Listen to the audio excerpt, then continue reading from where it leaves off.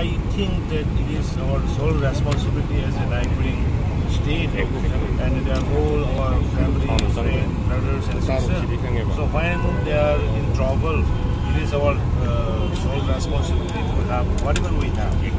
So today we are sending the uh, SDRF, State Disaster uh, Liquidation Force team, uh, 40 people, uh, well trained to help the uh, suffering people in Assam, along with some uh, food items, uh, uh, three trucks of food items, including rice, dals, and uh, uh, oil.